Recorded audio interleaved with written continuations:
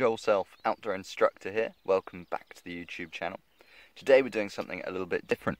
I'm not well known for my cooking, however, we're going to be making some nettle soup today. So first things first, we need to gather ourselves some nettles. You might want to use gloves for this because it can sting you, but if you're nice and sensible about it, pinch the nettle firmly, you won't get stung. What we're looking to do is grab the top of the nettle and take the last bit of growth. We want kind of the top four to six leaves, so we've got the freshest stuff. And we don't want to be doing this near a road or where lots of dogs get walked um, for obvious reasons. So you're going to need to collect yourself a fair few nettles and on the screen I'll put the weight down um, of how many nettles I pick here today. So we're just carrying on the nettle picking here and I spotted some of these nettles. Now we've talked about these before in a previous video. These are white dead nettles so they've got these sort of soft droopy little petals on them. They don't get the small uh, tight ball-like flowers that the common nettle gets. Both of these are edible. The difference is we can eat the white dead nettle when it's in flower, whereas we don't want to pick the common stingy nettle when it's in flower because it can give you some problems with your kidneys. So we're going to take a whole load of these dead nettles as well because these are edible too. The difference between the white dead nettle and the uh, stinging nettle is these don't sting you. So you can grab these by the handful quite comfortably without being worried about getting stung, which is great. We're also going to take a couple of stinging nettles from here as well, just to cover all bases.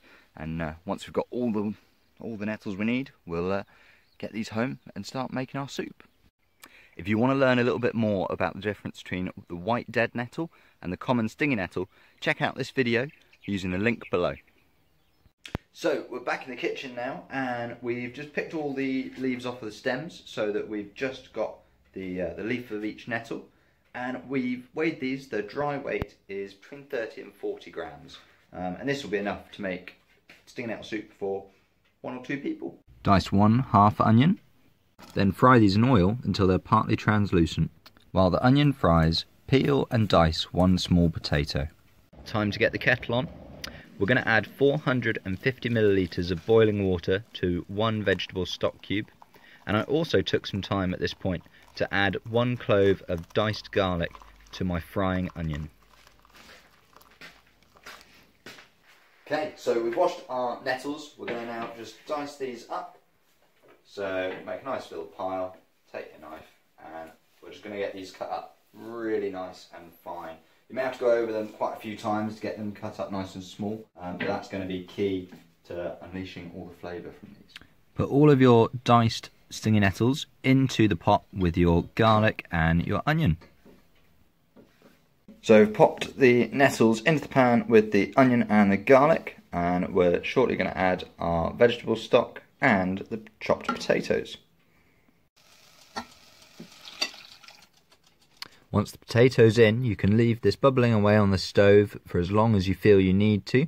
I left mine cooking away for about 10 minutes before I did anything else.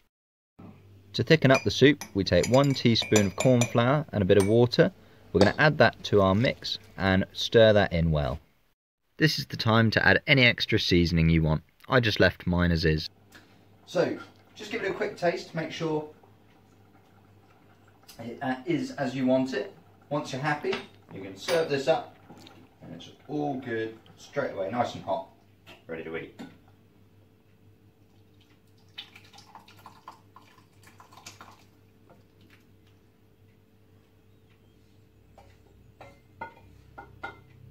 Prepare it in your kitchen or in the wood and that will be a lovely hot meal for you to have on those nice evenings whilst we're in lockdown.